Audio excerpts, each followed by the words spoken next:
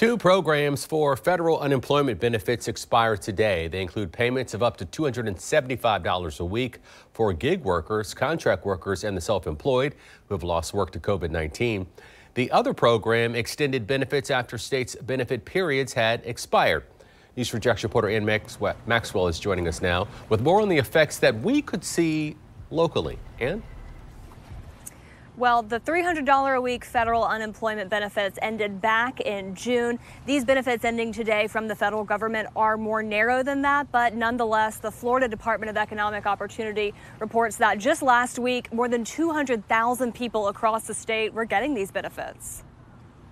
Melinda Wyatt says she's been out of work since May of 2020 and has patched together unemployment claims since then. Um, I have been looking for other work, but I also applied for um, disability because I also have other health issues. I ran out of my first benefits and they issued out a second round.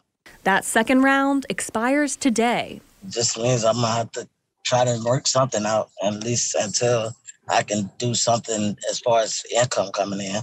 In July, Florida's unemployment rate was at 5.1%. Hospitality businesses report continued problems finding workers. It's been difficult. The senior vice president with the Florida Restaurant and Lodging Association says the end of the extra $300 a month in federal unemployment benefits didn't help much. A little bit of that flowed through to interviews uh, but not much of it flowed through to actual employment. He says he's not clear what the effect of these benefits ending will be. We are uh, cautiously optimistic that people will, will return to the workforce.